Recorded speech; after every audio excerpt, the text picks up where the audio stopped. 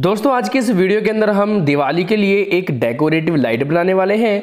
और दोस्तों, इस लाइट को बनाना बहुत ही ज़्यादा आसान है और आप इसे लो बजट में अपने घर पर रहकर ही बना सकते हैं।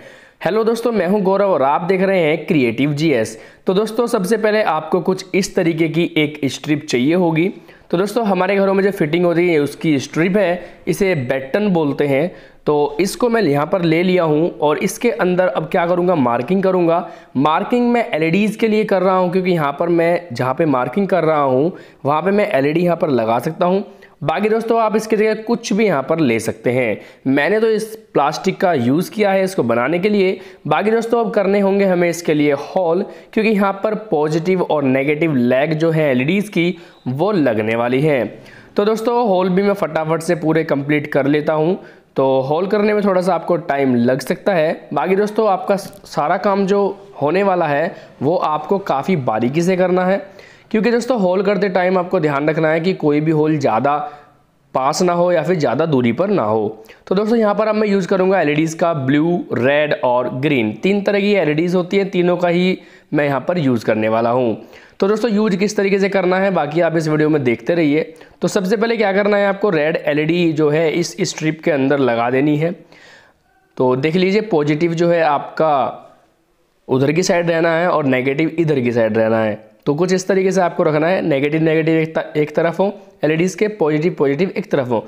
तो आपको ग्रीन और ब्लू के लिए यहाँ पर स्पेस छोड़ना है फिर आपको रेड लगाना है। फिर आपको ब्लू और ग्रीन के लिए स्पेस छोड़ना है फिर आपको रेड लगाना है। इसी तरीके से आपको लास्ट वाला भी लगाना है ग्रीन और ब्लू एलईडी के लिए स्पेस छोड़ना है और फिर से आपको यहाँ पर रेड वाला जो एलईडी है वो लगा देनी है।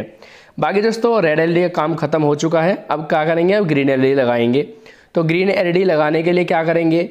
वही सेम रेड के पीछे लगानी है हमें ग्रीन यानी कि हमारे सेकंड नंबर पे जो है ग्रीन एलईडी ग्लो होगी। तो वैसे ही आपको ब्लू का स्पेस छोड़ना है, फिर आपको वहाँ पे रेड के पीछे ग्रीन लगा देनी है, फिर आपको ब्लू का स्पेस छोड़ना है रेड के पीछे ग्रीन लगा देनी है। तो इसी तरीके से करते करते, इस पैटर्न को फॉलो करते हुए आप क्या है, अपनी सारी ग्रीन एल को इस स्ट्रिप के अंदर लगा देंगे।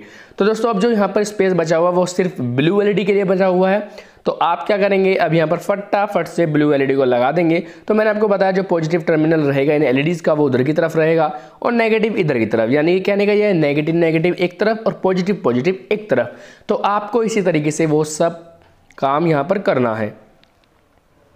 बाकी दोस्तों, ये सारा काम भी पूरा हो चुका है। अब क्या करेंगे? जितने भी एल के नेगेटिव पार्ट थे, सारी एल के नेगेटिव पार्ट को एक साथ ज्वाइन करेंगे। फिर क्या करेंगे? जितने भी एल के रेड पार्ट हैं रेड एलईडी के पॉजिटिव टर्मिनल को इस रेड वायर के साथ मैंने सोल्डर कर दिया है। और क्या करेंगे फिर? जो ग्रीन एलईडी होगी ग्रीन एलईडी के पॉजिटिव टर्मिनल को मैंने सारे पॉजिटिव टर्मिनल को, यानी कि ग्रीन के जितने भी टर्मिनल हैं, उन सबको मैंने इस ग्रीन वायर से अटैच किया और और जो ब्लू के बचे हुए हैं, ब्लू एलईडी के पॉजिटिव टर्मिनल को मैंने यहाँ पर ऑरेंज वायर से सोल्डर किया है। तो दोस्तों, आपने शायद इस वीडियो को ध्यान से देखना होगा। तो आपको बिल्कुल इसी तरीके से कनेक्शन करने हैं। रेड एलईडी जो है, उस रेड एलईडी के जितने पॉजिटिव टर्मिनल हैं, आपको रेड वायर से जोड़ने हैं ग्रीन के पॉजिटिव ग्रीन से जोड़ने हैं, और ब्लू के पॉजिटिव टर्मिनल ऑरेंज से मैंने यहाँ पर जोड़ दिए हैं। बाकी दोस्तों, मैं यहाँ पर यूज़ करूँगा एलईडी चेजर का। फोर चैनल का ये एलईडी चेजर है, लेकिन दोस्तों, इसकी जो एक ट्रांजिस्टर है, वो बेकार हो चुकी है किसी वजह से, इसलिए यहाँ पर मैं इसको as a three channel LED chaser के तौर पर यूज़ करूँगा। दोस्तों, मैं यहाँ पर एक ब्लैक वायर को एल के नेगेटिव में कनेक्ट कर लूँगा, क्योंकि हमारे जितने भी एल के नेगेटिव पार्ट हैं, वो सारे एक जगह सोल्डर हैं और वो एज ए कॉमन वर्क करेंगे। तो क्या करता हूँ, फिर इसको पावर सप्लाई के नेगेटिव के साथ जोड़ देता हूँ डायरेक्टली क्योंकि वो कॉमन है। उसके अंदर जो करंट जाने वाला है, वो पावर सप्लाई का नेगेटिव जाने वाला है।